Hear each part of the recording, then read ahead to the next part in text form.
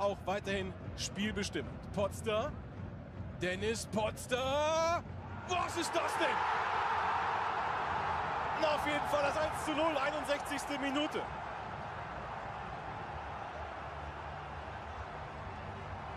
Ein großartiges Tor. Der Einwurf vom Baumgärtel und Potster, der tänzelt sich in Schussposition, weil er nicht richtig attackiert wird.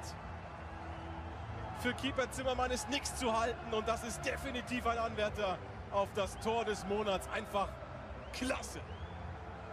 Und die Führung ist natürlich hochverdient und sie ist so befreit.